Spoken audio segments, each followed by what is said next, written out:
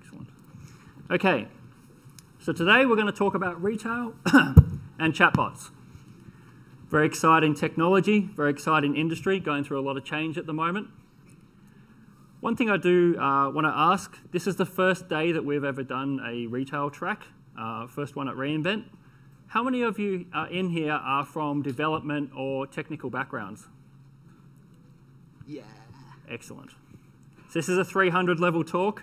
Uh, we're going to dive into the code. So if half of you had only put your hands up, then we'd be in a little bit of trouble. All right.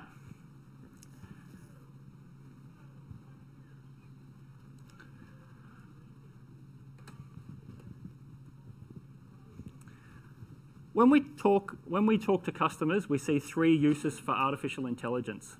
Three particular problems they're trying to solve. The first one is seamless experience.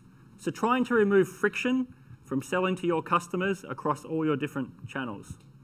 The second is really autonomous machines, and not just the drones that you see here, but how to improve logistics networks, how to do things like the iRoomba uh, robot for vacuum cleaners. And so really trying to move the AI out into the edge, out into edge components, and finally scientific breakthrough. So a lot of the technology that we now use in machine learning, things like clustered computing, GPUs, actually came out of uh, the science community. And this year we also have an individual industry track on healthcare life sciences. So today we're just going to talk about seamless experience and how we can improve our own customers' lives. So what is seamless experience? What we are trying to do is we're going to remove the friction points from when someone wants to buy a product from you, when you're marketing to them, when they're signing up for your rewards. And we really want that to end up in a great experience where it's going to increase their propensity to buy on your platform and they're going to come back and buy the second uh, product.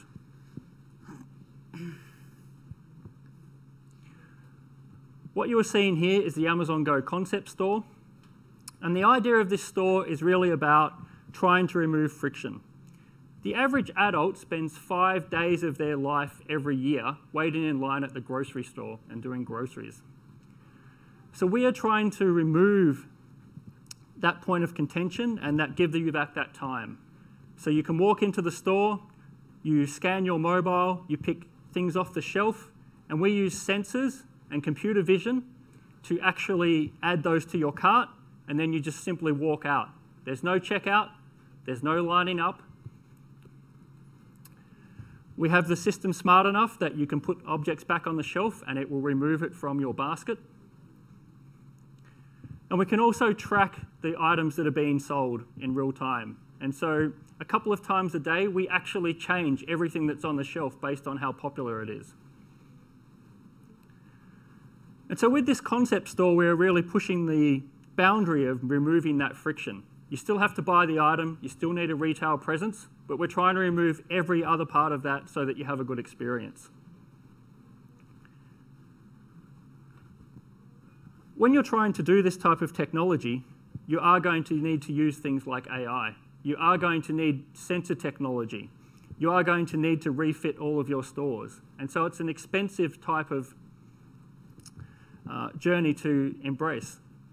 Hence why this is still a concept store and it's still in beta.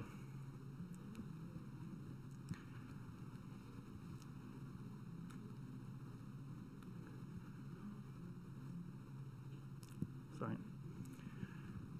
The way that we use machine learning in those stores understands the purchase patterns. And if we understand the purchase patterns of our customers, then we can keep optimizing that life cycle. We can keep stocking the shelves with things people want to buy. We can move them to the front so that they don't spend as long in the store. And we can improve the technology so that every time you put something back on the shelf or put it in your basket, we can accurately record it. And what we're trying to do is to increase the propensity to buy. We want our customers to come back and buy the second item.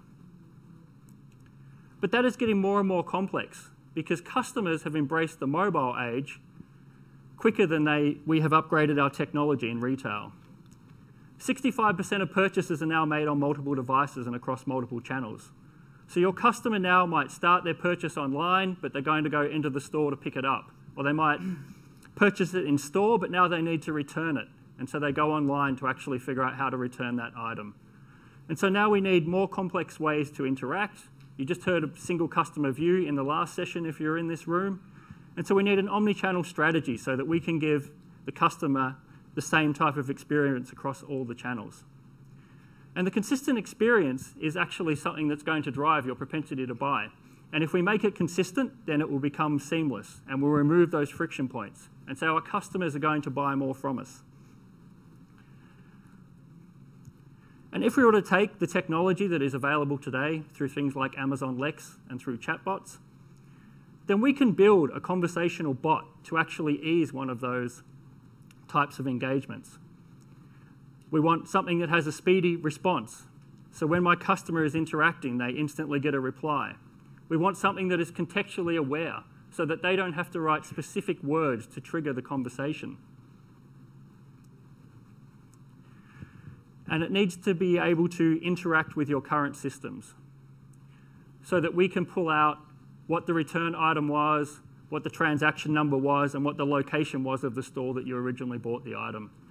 And so we need a full ecosystem to be able to uh, use this technology.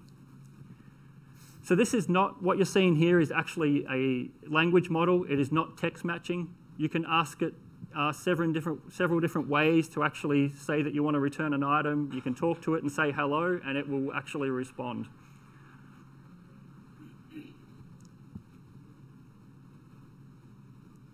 So what you're seeing here uh, is using the uh, iOS uh, SDK and uh, putting and using Amazon Lex in the background. We're going to dive deeper into this, but first I want to talk about how we got here. Why are conversational interfaces everywhere? Why are people building technology around them?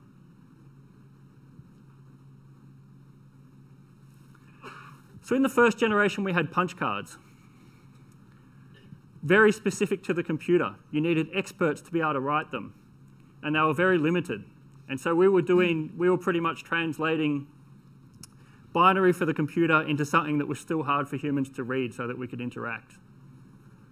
In the second generation, we moved to pointers and sliders. So everyone's used to the mouse now, the touchpad on the Mac. We're still interacting with the computer in something that feels more natural, but we actually have to learn it. If you go and see a four-year-old pick up an iPad now, they know how to intrinsically use it. So it's not like a punch card, but it's still not natural. You're still forcing the computer to move somewhere, to drag something, to click something. And so they're not natural interactions that we would have with a human. And then finally, conversational interfaces. So we want to get to the point where it is as easy to interact with any type of technology as it is to have a conversation with someone. And to do that, we need a few different things. The first is that it needs to be natural. I'm up here speaking to you. Hopefully you can all understand me, although I am Australian, so I speak fast. The second is that it needs to be on demand. If I talk to you, I expect a response. Doesn't always happen, but you know, generally when you talk to people, they do respond to you. And finally, it needs to be accessible. So it needs to be in multiple languages. It needs to be in an interface that someone can interact with, whether that is speech or whether that is text. And finally, it needs to be efficient. So I used to work in an industry where we would build systems that would do automated IVRs. And people used to spend hundreds of thousands and millions of dollars on getting these right. And they were very, very specific about how you could interact with them. And they used to take year long projects to actually build out. And so we need it to be efficient. We can't be spending thousands of dollars to actually be able to use this technology because it will be too big and people will not adopt it. So, what is Amazon Alexa? Hands up if you've got some kind of Alexa device in your home at the moment. So if you're from North America and other parts, you might. If you're from Southeast Asia like me, not so much. And so Amazon Alexa is a personal assistant, originally launched on our own Echo device, uh, but now we actually use it in other places. So there's connected cars that have Alexa now, there's watches. And so we are trying to expand the ecosystem. And Alexa, you can talk to Alexa in natural voice, and she will respond and she will also integrate with skills. We have over 15,000 skills now in the marketplace. So what I'm going to show you now is a short demonstration of Alexa, in case you don't have one. It seems like about 30% in the crowd don't.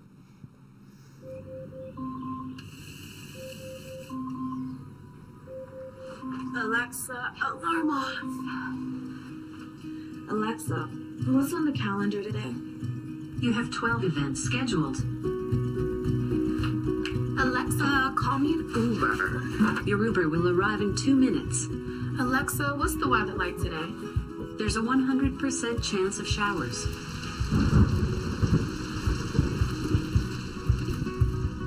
Alexa, pair my Bluetooth speaker.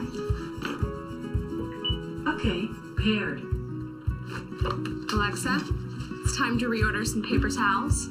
Okay, order placed. And Alexa, play my garage music. Playing your garage playlist from Prime Music.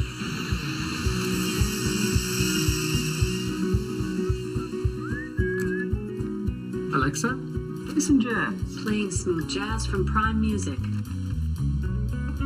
Alexa, who's this? This is Picnic Basket by Lolatone. Alexa, turn that up. Alexa, ask Domino's to send me my last order. Okay, order placed. Hey, isn't that Jason Schwartzman? No, that's not him. I would know if that was him. I'm pretty sure it's him. Okay, Alexa, who stars in Mozart in the Jungle? Stars include Malcolm McDowell, Jason Schwartzman. Ah, see? I was right. Alexa, change the bedroom temperature to 65 degrees. Okay, Alexa, lights off. okay. Alexa, good night. Good night. Sleep tight.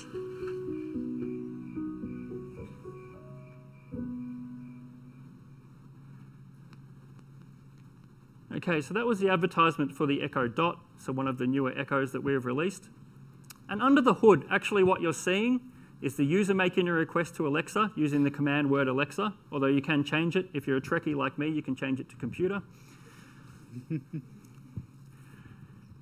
The audio stream gets sent in, and we use natural language processing and automated speech recognition to infer the context and to convert that to text so that we can understand what you're asking Alexa. It then goes off to a skill.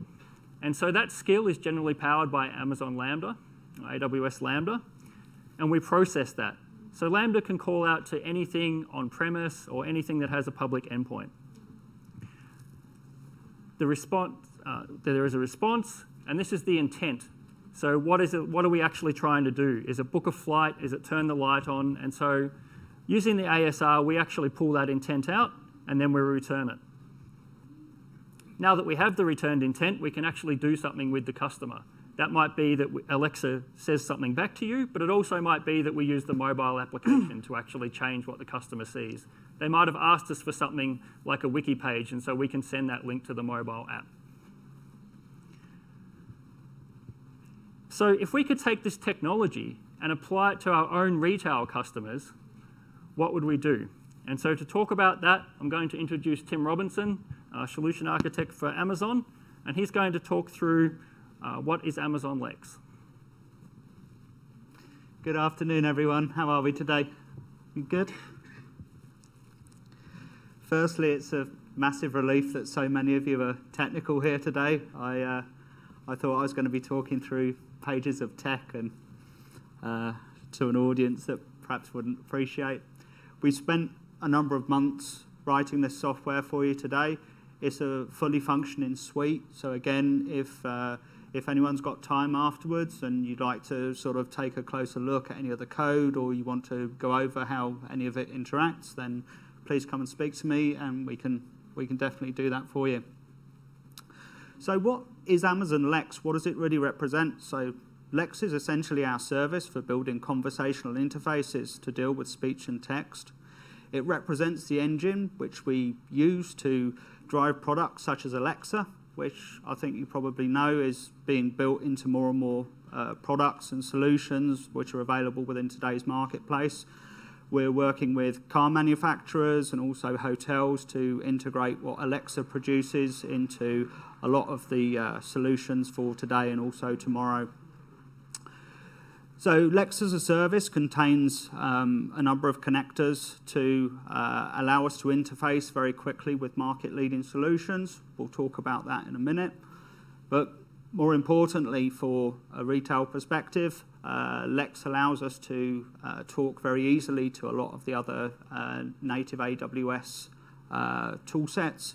So the ability for us to take Lex and via Lambda to talk to a number of different services, for example, DynamoDB or S3, etc., etc. And that allows you to take your basic chatbot solution and to expand it across, uh, across a lot of our ecosystem. Can I just have a show of hands? How many people have built a chatbot or had previous experience working with Lex to date? Okay, quite, quite a few. That's really good. So, we'll Apps um, that listen just go are through a quick video. I need new shoes to go with my jeans. What kind of shoes? Casual. Just casual. Here are some casual shoes. But apps that can listen and respond are even better. Amazon Lex from AWS makes it quick and easy to build applications that listen and respond using both voice and text.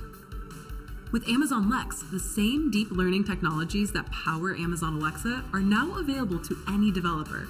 With Amazon Lex, you can build conversational interfaces, often called chatbots, into any application, cost effectively and at scale. Simply provide a few example phrases, and Lex builds a natural language model that understands all related phrases. You can log in and build your first chatbot today in just minutes with no upfront costs. If you've used Amazon Alexa, you know conversational interfaces can be useful and powerful. By maintaining context and managing the dialogue, Lex enables your app to perform complex tasks. Can you show me my sales from last month? Sure. Which regions? Southern region. Here are your sales for the southern region. Here's how Lex maintains context. Can you email me that report? Here are the top selling products in the southern region. Would you like me to show you the top five customers? With intent chaining, your bot can propose the next activity and switch to it dynamically. Lex's enterprise connectors support many popular SaaS applications, as well as custom business applications. And because Lex can integrate with AWS Lambda, there's no additional backend infrastructure to provision or manage. With Amazon Lex, you only pay for the text or speech requests that you make. You can build, test, and deploy directly from the console. Create multiple versions of your bot for powerful lifecycle management in a multi developer environment, and scale up instantly through the power of the AWS cloud. Start building your bot with Amazon Lex today.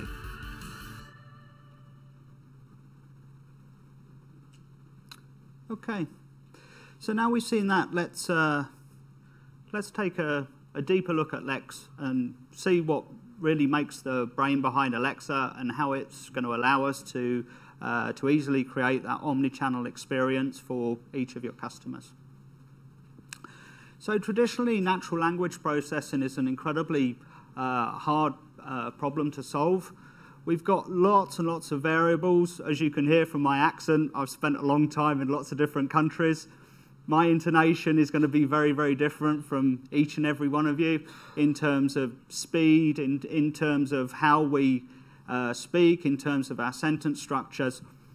Traditionally, developers have all struggled individually to try and solve this problem rather than working on what they really should be working on, which is solving business logic. From an AWS perspective, what we wanted to do is, is to give you a really nice model to work with so that you can focus on solving business related problems rather than continually trying to reinvent the wheel. So, what features do we have from a Lex perspective? Well, firstly, we have um, a console that's uh, integrated within the, uh, the AWS uh, GUI interface. Um, our solution uh, is targeted to both business and technical customers, and our interface allows the update and the, uh, the push out of code incredibly effectively. It means that um, individual chatbots can be updated, new versions can be created very, very simply and effectively. From a Lambda perspective, uh, Lambda interfaces very tightly with Lex, and what that allows us to do is to use Lambda in, in two functions. We'll come on to that in a second, but both from an error checking perspective and also from a fulfillment uh, point of view to uh, reach out to other services.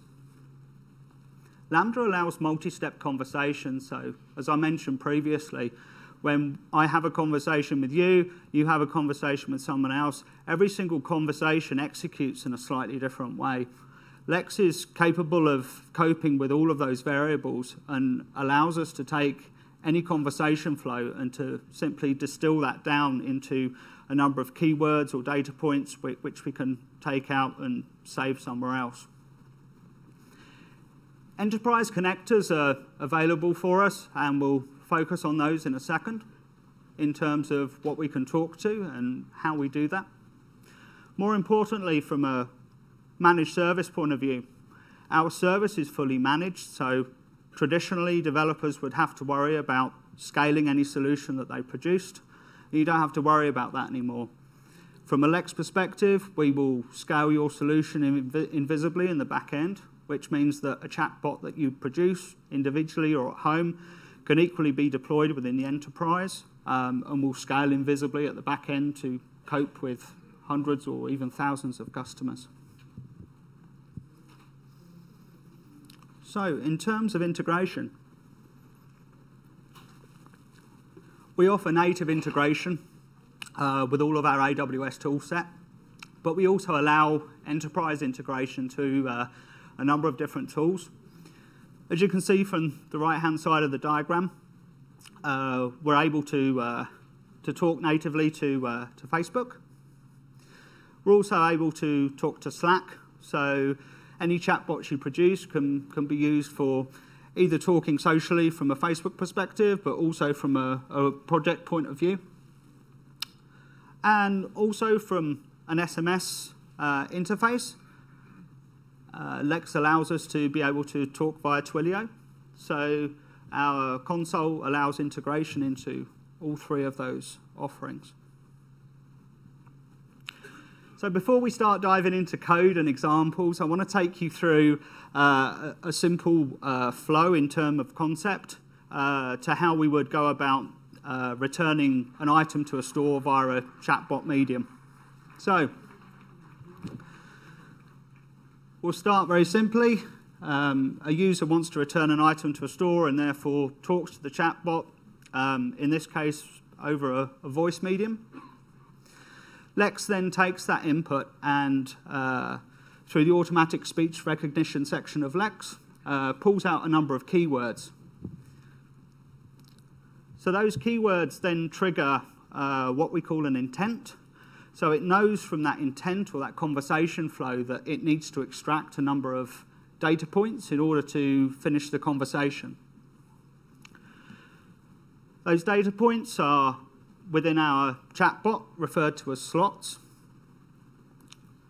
So we continually loop round within the chatbot, the chatbot executing what we call ut utterances or, or command prompts. So we continue to loop round, the chatbot asking or querying the user for different input. As soon as that input's fulfilled, a confirmation is sent back to the user to confirm the details. At the point at which those details are confirmed, Lambda is uh, executed. And once Lambda fi finishes executing or calling whatever uh, tool set you want to talk to, a confirmation prompt is sent back to the user.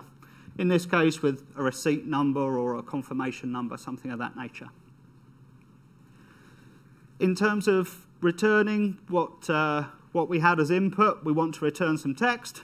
So in this case, what we'll do is we'll pass back via Polly, which is our, uh, our text-to-speech medium, and then back to the user that we've processed your return.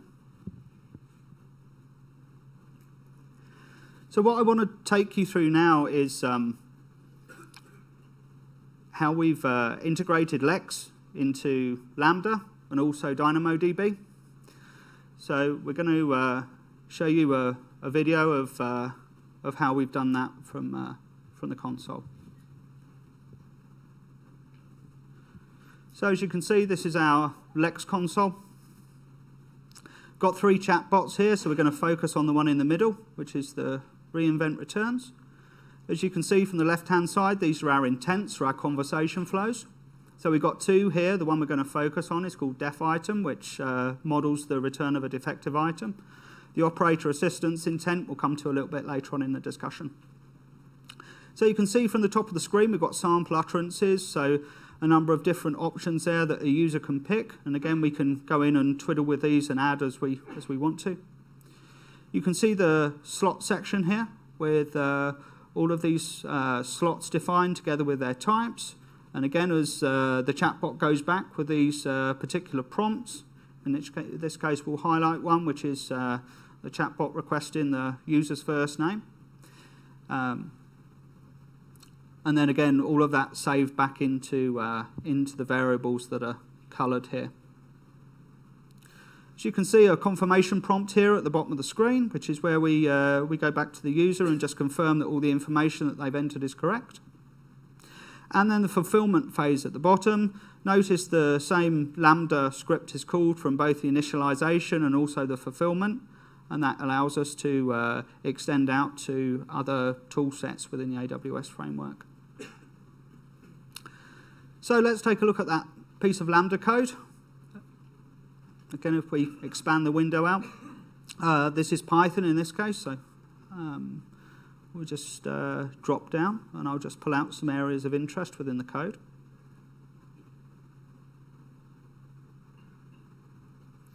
So as you can see, the highlighted section here is uh, a check that we use to check a valid city. So again, as we drop through the chatbot flow, uh, you'll notice that we've got three valid store locations. So this uh, scans a DynamoDB table and uh, compares the user input to that table. And again, if, uh, if it's not an appropriate store, then we, we return a, a statement accordingly. Also notice the debug statements, which uh, will loop back into, into CloudWatch. Into DynamoDB, we've got two tables here. The first is modeling our store details. So again, a really simple table here, just with uh, city names and associated addresses. So if we click on one, we can see this is our New York store in our example. And finally, probably most importantly, our return ledger here, which will ultimately record all of the information from our chatbot. So what we're going to do is go into our test interface here. I've sped this up, so uh, we don't need to waste too much time. So we're going to uh, drop through the conversation flow. We're going to enter all of our details. So this is me buying a pair of jeans or returning a pair of jeans. We enter all of the appropriate information together with our receipt number.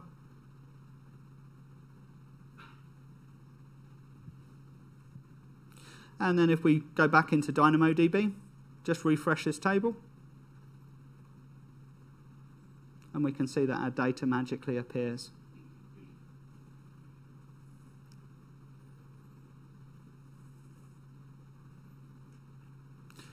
So again, quite a good example of what a chatbot is capable of doing from initially talking to a customer to checking all of that data as it gets passed through to eventually saving it out into a, a separate table format.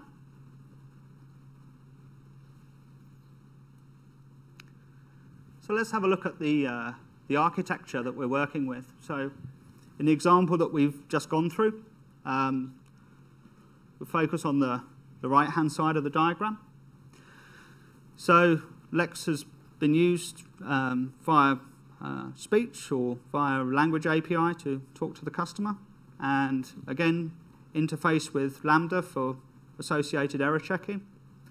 Um, once that error checking is completed, then we enter what we call a fulfillment cycle. So Lambda is then triggered yet again to perform a fulfillment action.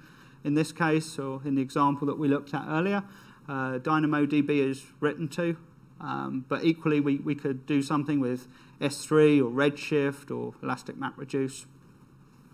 It's also important to note that we're not just capable of uh, talking to uh, AWS native services, we're also uh, able to talk to uh, on-premise, so uh, via a public endpoint, we can talk to absolutely um, any system on-premise, so like a CRM database or something like that.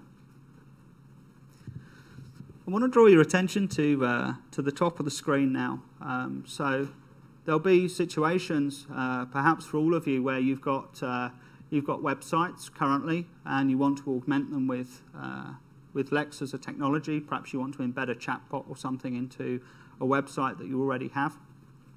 Uh, we're able to do this through a number of tools. So uh, we have uh, we have Cognito from an authentication perspective, we have CloudTrail from audit, and we have CloudWatch from a, a logging point of view. So those three tools we can we can levy to uh, combine with some very simple uh, HTML to uh, give us the uh, the output that we expect.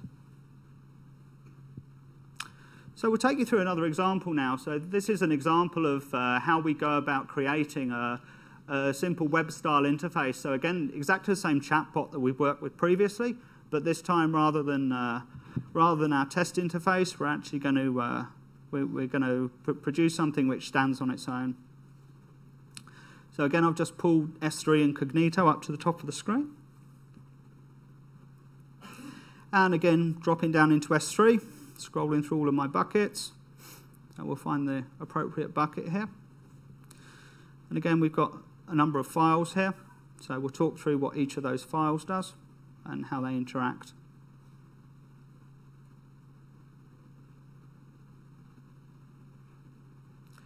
So just a quick look at permissions that we are public for this bucket. So also important to add that we're not working with any web servers here. So we're dealing with S3 in a, in a static web hosting context. So just uh, simply switching that on and then referencing the index.html.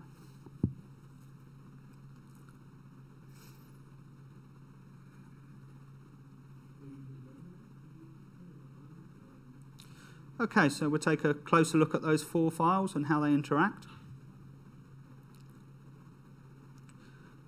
So again, the first one, nice and easy, just a, a nice uh, splash screen with some shirts and a nice banner with reInvent for the top of our screen. And then we just uh, drop through the index.html. As you can see, the, the first head statement there just references the CSS file. And again, as we drop through that CSS file, we can see at, the bottom of the screen just the uh, XY coordinates, which is where we're going to we're gonna place our chatbot within the, uh, the HTML file. Back into our HTML file, and as we drop down, we can see that we, uh, we use a mix of HTML and also JavaScript.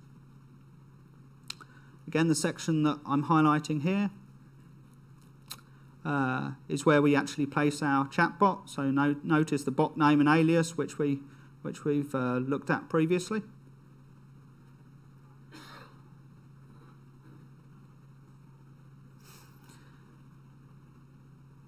And again, if we look at the top of the screen, we can see how we interface uh, into Cognito. So uh, we're able to produce a, a, a secure interface out to uh, the web. So what we'll do is take you into Cognito now and show you how, uh, how we generate this code together with the identity pool ID.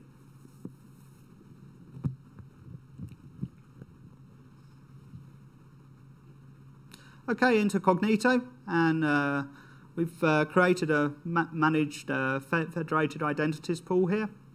So in this case, it's uh, a pool that we call bot pool. We just go into here. And again, from the left-hand pane, we select the sample code. When uh, we create configurations within Cognito, we can choose a number of languages to generate code in. So in this case, we're going to select JavaScript. And you can see from the top of the screen where the uh, AWS credentials are listed. We can just simply um, cut that section of code. And then if we go back to our example, you can see that it's uh, identical piece of code from, uh, from our Cognito interface. So again, this represents an ability for uh, someone to work with very basic HTML skills and embed a number of our tools within, within a, a simple uh, index.html file uh, to produce a, a, working solution. So we'll go back into S3, into our index.html, and click on our link, make the window a bit bigger. And then we can go through our return item flow. So what I've done in this example, if you look at the, uh, the blue text, we've, uh, I, have bracketed the state that the chatbot exists in. So at the moment, it's requesting more and more information, which we've called elicit slot. So it's asking for slot information. So eventually what we'll do is we'll drop down to uh, a fulfillment phase, so confirm the final intent, and then we're fulfilled.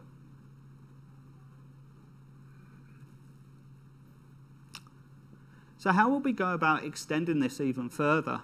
We've, we've seen two examples of how we take a chatbot and we, uh, we create a basic interface out to, uh, to uh, a web style front end.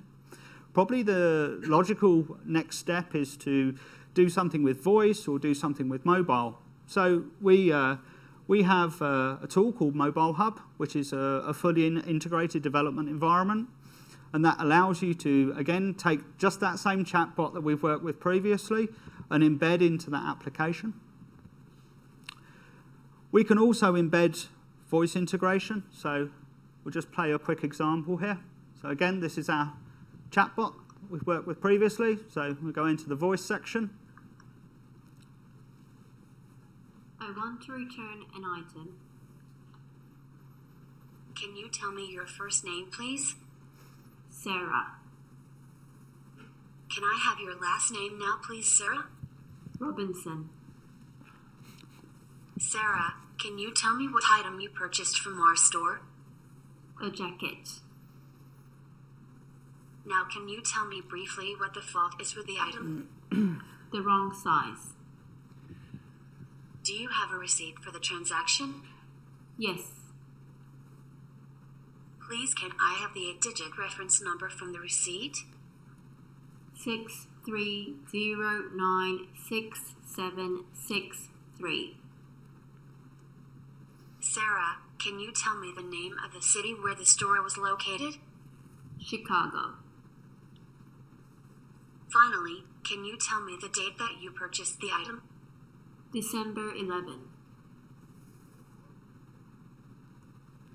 So as we can see, simply the same chatbot that we worked with previously, no additional code has actually been written, just working with tools within the AWS framework, and we're able to produce yet another product.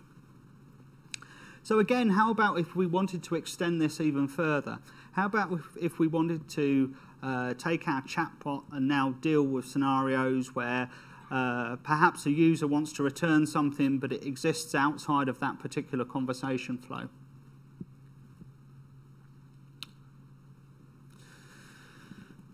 So we now move into working with um, Amazon Connect, which is a service which provides end-to-end -end, uh, solution for call center management. It's essentially a, a, a fully automated uh, call center. Um, it allows us to create skills-based routing. So from a flow perspective, we can create a, a call center flow and have uh, specific skills uh, distributed within our call center. So perhaps you have a call center where two or three of your operatives are highly technical and the rest are not. We can create uh, conversation flows within our Connect system to cope with that. Connect offers full call recording, uh, both encrypted and non-encrypted. What that means is that uh, you can sit afterwards, analyze calls, and uh, see where perhaps uh, customers are happy or not so happy. We also offer real-time and historical an analytics. So again, you, you can sit with a, a single pane of glass and analyze, uh, analyze all of your call center uh, statistics. But more importantly, we offer very high quality uh, voice. So I want to take you through how we would take our chatbot and then integrate uh, from a Connect point of view.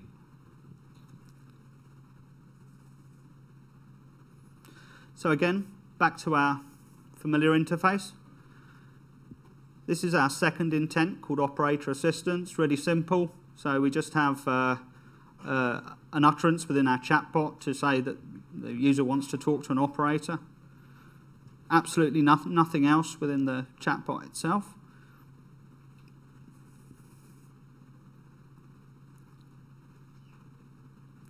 And then we load up Connect. So what we've done is create a, a virtual contact center. Log in as administrator.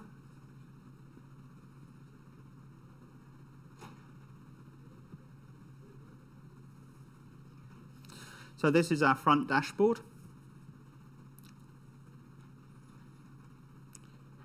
So if we drop down, we can now open the contact flow for you.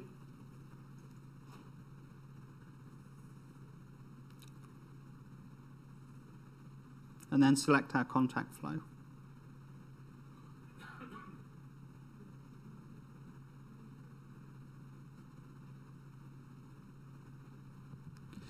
Okay, so as you can see, we've got a, uh, a flow diagram here. So we start and then we move to uh, a prompt.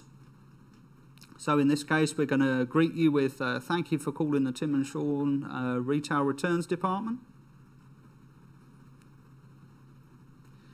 We're then going to uh, get some customer input. We're then going to play a prompt.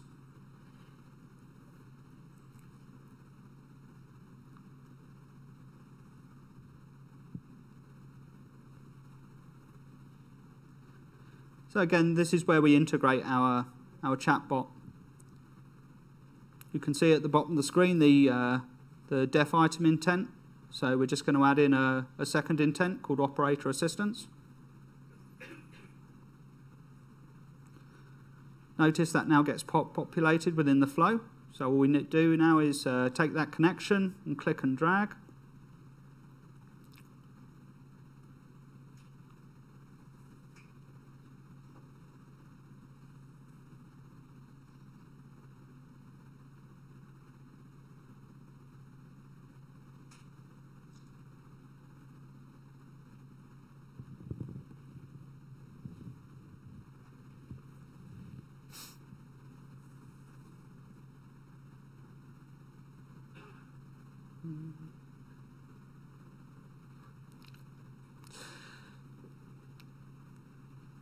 Just to update our text here to say that uh, as an alternative, if, if we want to speak to an operator, then simply say operator assistance.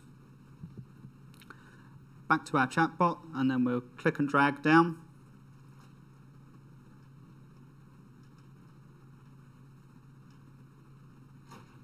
And then up to the top and save and publish.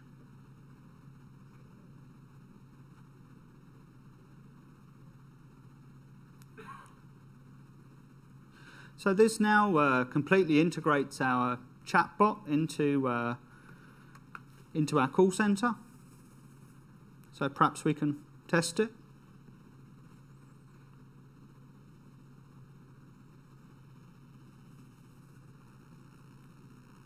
Thank you for calling the Tim and Sean Retail Returns Department. Simply say return item to connect to the service. Alternatively, if you want to speak to one of our staff, simply say operator assistance. What do you need assistance with today? Operator assistance. It looks like the return system is experiencing problems. Let me connect you to an operator who can assist you with your return. Thank you for calling.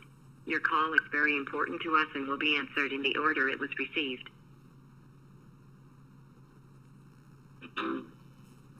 Unfortunately, we don't have any operators that we can employ for today's demo, so that's as far as I can take it.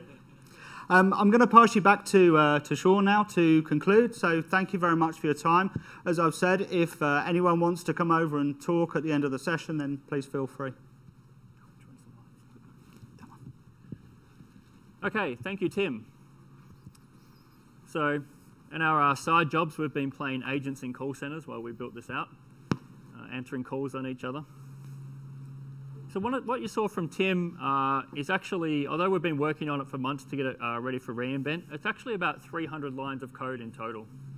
So that does uh, end-to-end -end, the chatbot, the definition of the infrastructure, connecting to uh, Connect, the uh, intents, and so uh, everything that you saw here. So this is the first retail, the first retail session that we've actually done. So what we're really interested in is whether, you, uh, whether we can actually open source that and push it out so it becomes a packaged end-to-end -end solution. So we'd like to hear feedback at the end, so make sure that you fill out your feedback forms. Uh, we're happy to start uh, building some more of this out for retail. It's an area at the moment where there isn't much out there, uh, and so we want to work on that. So this is really talking about the seamless experience. So we showed here how we can remove the friction of answering things like customer returns, how we can then push it to our call center if our chatbot uh, can't answer. So we crippled the chatbot at the end of the demonstration there so that it will actually force through to the operator. And so we really want to uh, reduce the operational cost of doing these things that we have to do in our business. Just every single retail retailer has some kind of returns policy. They generally have some kind of online and offline presence. And so we want to make the interaction with those seamless. If we do it with technology, it's much cheaper. We don't have to employ a lot of operators. We also don't have to worry about lots of people turning up to the store to do returns. So you can extend this out. You can do things like put the chatbot on an iPad in the actual store so that you don't have to get people to go to their own phone. Uh, and then integrate it fully into your call center experience. So you take more and more away from actually operators and put more into the into the uh, Connect, so that it will do uh, the end-to-end IVR solution. And so by reducing that friction, we get customers to buy more from us because they don't have a bad returns experience. They uh, have a nice experience where we know them as a customer. You'll see here that it was very personalized. We actually know what store you went to. We know what day you actually bought it on. And so we can use those things from your default CRM that already exists or from your other systems. Important note that uh, Tim pointed out there, so Lambda will actually call anything that has a public endpoint. So if you also, if you have a direct connect, which is a private lease line from AWS into your data center, then you can also call systems online. In retail, not everything is moved to the cloud, and so you are going to have to connect with those types of offline systems uh, that are sitting on premise, and so you can do that with this type of solution. So you might just build the chatbot in something like AWS. You don't have to pick up and move all of your systems that are integrated into your retail network, which is generally very hard.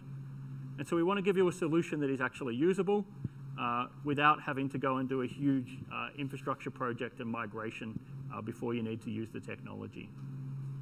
So with that, uh, that is our retail on AWS. I am Sean Ray. That is Tim Robinson. Thank you very much.